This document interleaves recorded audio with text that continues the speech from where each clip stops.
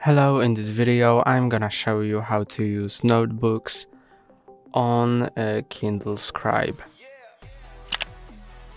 To use notebooks, click on notebooks on the bottom uh, bar and now you can create a notebook or a folder, uh, give it a name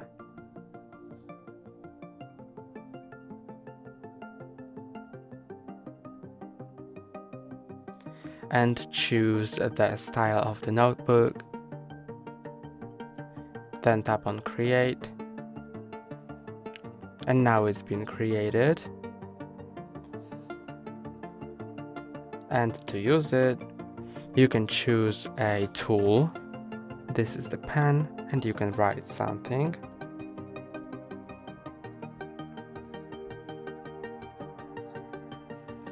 You can highlight it using highlighter.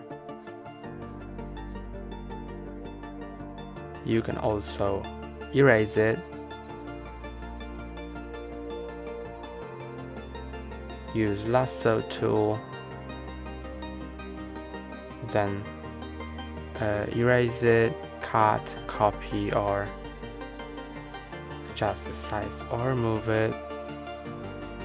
And also use um,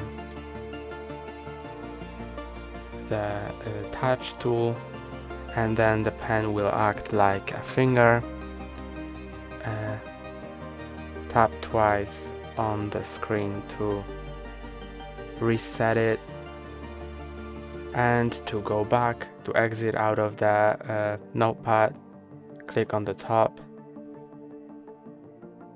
And here you can go back And that's all for today. Don't forget to like and subscribe. See you next time.